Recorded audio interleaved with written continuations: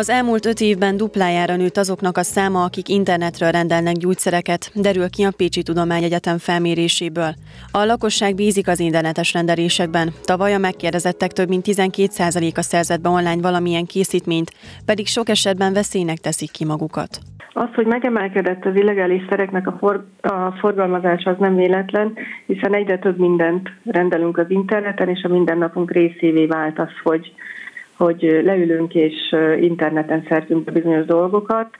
Mi úgy látjuk, hogy duplájára emelkedett a interneten beszerzett gyógyszereknek az aránya.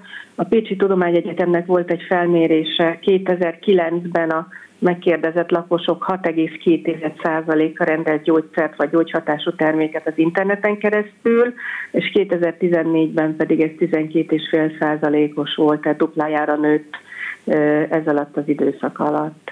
Magyarországon a lakosság sokkal többet költ gyógyszerekre, mint egészségügyi kezelésekre, az ismeretlen eredetű szerek terjesztésében pedig élen járunk Európában. Legtöbbször olyan csodaszereket árulnak az interneten, amelyek nincsenek gyógyszerként forgalomba hozatalra engedélyezve, egy meghatározhatatlan termékkategóriát képviselnek. A készítmények másik illegális eladási körébe tartoznak azok az engedélyezett gyógyszerek, amiket azért árulnak, mert valakinek megmaradt vagy nagyobb mennyiségben jutott hozzá. Van egy olyan tévhit a lakosságban, hogy csak az életmód gyógyszerek azok, amelyeket a, az interneten árulnak, tehát potenciálnövelők vagy izomnövelő készítmények, de hogyha megnézzük ezeket a gyógyszert áruló internetes honlapokat, illegális honlapokat, akkor azt láthatjuk, hogy mindent megtalálunk ezeken a honlapokon, tehát rákellenes gyógyszertől, koleszterin szintcsökkentőkön át, a cukorbetegség gyógyszereit is, tehát egyre jobban bővül az a termékpaletta, amelyeket illegálisan árulnak a neten. Az internetről rendelt szerek majdnem minden esetben hamisak és illegálisak is, de ezen kívül fennáll az a veszély is, hogy más teljesen ismeretlen eredetű összetevőket tartalmazó készítményt kapunk a megrendelt tablettaként. A vényköteles gyógyszer illegális beszerzése során viszont fontos figyelembe venni, hogy bizonyos szerek nem véletlenül kaphatóak csak receptre. Ezek együttes alkalmazása csak ronthat a beteg állapotán.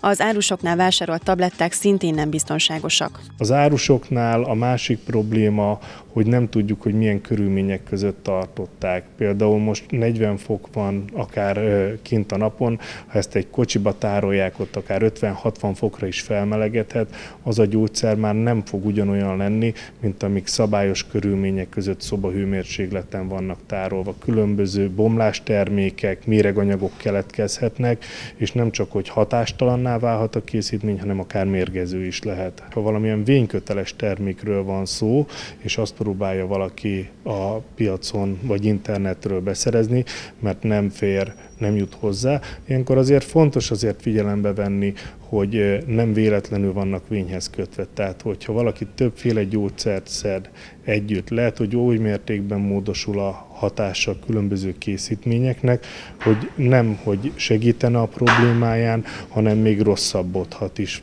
Az illegális gyógyszerek lefoglalását a NAV végzi el, és aztán magát a nyomozati munkát pedig az Országos Rendőrfőkapitányságnak, az egyik erre specializálódott csoportjának a feladata.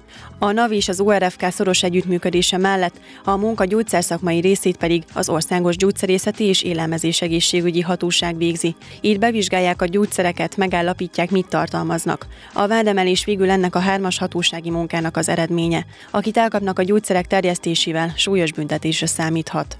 Alapesetben három évig terjedő szabadságvesztés büntetésre számolhat, és ennek különböző minősített esetei vannak ennek a, a büntetőjogi tényállásnak.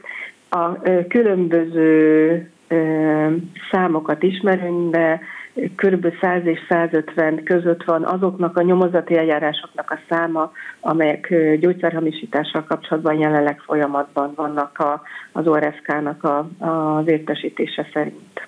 Fontos azt tudni, hogy a Magyarországon engedélyezett legális gyógyszereken mindig található magyar felirat. A legbiztosabb pedig, ha ezentúl is a gyógyszertárban a gyógyszerés segítségével vásárolunk különböző készítményeket.